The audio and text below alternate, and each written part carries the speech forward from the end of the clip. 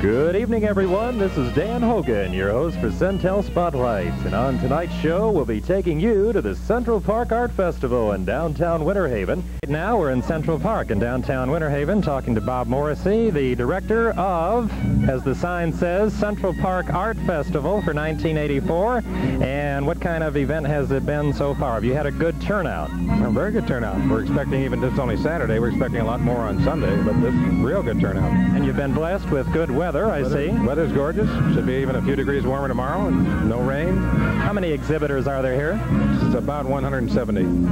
And when does the judging actually take place? It's going on right now. It should be completed by around 4 o'clock today. Give me some idea of the different types of art that people can see here. Yeah, we got painting, different types of painting, watercolor, graphics and drawing, uh, photography, ceramics and sculpture, and crafts. And crafts is such an all-encompassing media. I mean, it, um, jewelry, leather, wood, stained glass. It just, it's like a catch-all. Anything that's not in one of the other categories is in crafts. Now, I'm just curious, does the director of the show actually have something on exhibit here today? No. Is that not allowed? No, I'd rather not enter something that I'm putting on. No. What type of art are you personally involved with, though? A realistic type painting. Mm -hmm. How long have you been director of this event? I started it six, uh, five years ago. And does it typically take place in March or just generally sometime in the spring each year? No, the second weekend in March every year.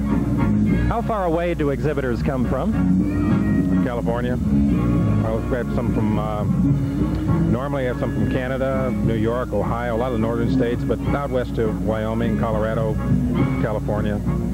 Got a 26 states. If someone wanted to participate in next year's event, how would they go about becoming involved themselves? All they have to do is write to Sunbank, and we'll be glad to send them an application. Now, is there a particular entry fee, or how does that work? There's an entry fee of $50, at least this year, and um, a $5 fee per every category they enter. If they want to get in painting and then graphics or uh, photography, that's three different categories, they'd pay the $50 plus $5 per category, for another 15 Can you give me some idea of what entertainment is being held here on the stage? We have Polk Community College uh, stage band. We have Reader's Theater from the from the college. We have uh, some individual performers. We have a ballet conservatory here. Uh, a lot of exciting entertainment, and the people seem to be really enjoying it. Has this event grown each and every year? Yes, I think we're getting a better attendance. More people are becoming aware of it. They're becoming aware of the time of the year it's held, and uh, with, with, the weather we're having, and we've had this kind of weather every single year. Do you think you'll break the attendance record this year? I hope so. Any idea about how many people you had here last year? We had somewhere around 18,000 last year, and I think we'll do better than that this year. And it's, Sunday is normally a much busier day than Saturday. And it's typically a two-day event, Saturday and Sunday, is that correct? Correct. Give me some idea, if you will, about, I notice several snacks available here. How does that work? Does somebody just come here and buy a space to participate in that, or is that club-oriented? Well, a lot of it is club-oriented.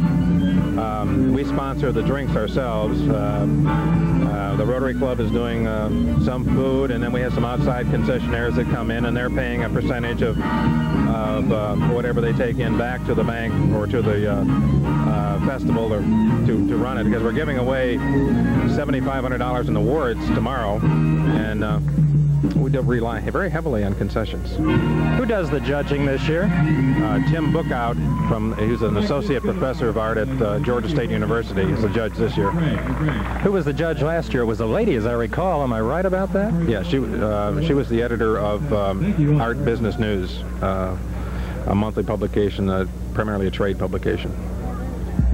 If I may ask this, has there been sort of any type of new art form on display this year that maybe people would not have seen last year? Well, to tell you the truth, I've only seen about half the show myself. Okay, so it's too early to tell, perhaps. Now, anything else unusual about this as to how many man-hours involved in putting something together like this? Can you give us some background information about any problem you may have had or any funny things that have happened along the way in getting this event organized this year? We normally start on next year's show about a month after this year's show, mm -hmm. and it takes that long to get it ready because you got you've got entertainment, you've got concessions, and everything is outside, so nothing exists. There's no building. You have to furnish the stage, and uh, uh, tents and just everything. I mean, it's a, quite a, an endeavor to put on. A lot of man hours. Since you have been involved in it, and you said you've been involved from the start, has rain ever been a problem? We never had any rain. Well, I, I guess we can congratulate the Winter Haven Chamber of Commerce for giving you good weather each and every year. That's for sure. Can you give me a rundown on what Winter Haven artists specifically are involved in exhibiting this year? Uh, by name? Well, either that or just uh, one or two people that might be involved from the community itself. Oh, we have we have a lot, not just from Winter Haven, but uh, surrounding area, Haines City and uh, Lake Wales and Lakeland and Bartow. We've, we've got probably 40 artists just from that area alone. But uh, we get a good cross-section, not just from Florida, and then uh, a, a, smaller percentage, but we cover 26 states with the rest of them. So it's uh, whoever comes down here is going to see a full range. They're going to find something they like. They, they couldn't miss. There's just too much down here. Okay, we've been talking with Bob Morrissey, director of the Central Park Arts Festival.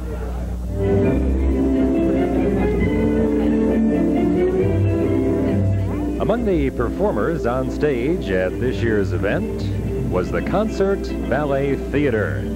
And we have the opportunity to speak with the artistic director of this group, Perko Lawler. Today you saw the, uh, just a part of the group performing because many of the dancers could not make it here today, but the six dancers. And we were very lucky to have a couple men dancers, youngest one, our Matthew, five-year-old.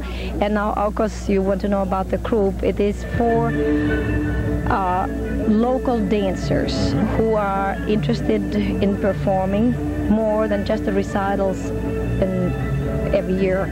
And we do have auditions in the fall again for the next big performance we're going to do, The Match Girl and um, we last we did a big performance last uh, Christmas time, and it was very successful and well received. And we'd like to do it better and more successful next fall.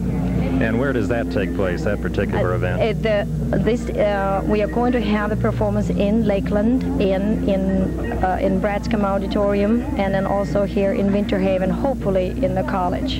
Give us a little bit of background about yourself, how you got involved in having a ballet theater to begin with. Uh, now, right, because I have been dancing all my life, and I started dancing in Finland and uh, then came to study here and met my husband and that made me to stay in this country mm-hmm. and I have been teaching in Chicago area for 27 years. My That's a long, a long time. And then uh, now um, two years we have been here in in this area, and because I I'm the owner with my husband, the owner of the uh, ballet conservatory here in Winter Haven. But then the uh, Concert Ballet Theater is uh, sponsored mainly by two studios, one in Lakeland, Highland School of Dance, uh, and Dance, and of course Jane Coyle is the director of the uh, Highland School of Dance, and then I am the director of Ballet Conservatory here. And so this is, we are trying to bring the dance more let's say, different type, like that's a classical ballet mm -hmm. to be the popular dance form, which is something sometimes forgotten. But okay. we have to bring it back to the back to the limelight. Next, we asked Jane Coyle, director of Highland School of Dance in Lakeland, about her school. It's been open for nine years, and then I met Pirko mm -hmm. when she moved here, and we just we got together, and we it's just been wonderful. She's just been really exciting. And the girls that take in Lakeland also come over and take in Winter Haven too. So it's a kind of combined effort between the two of us.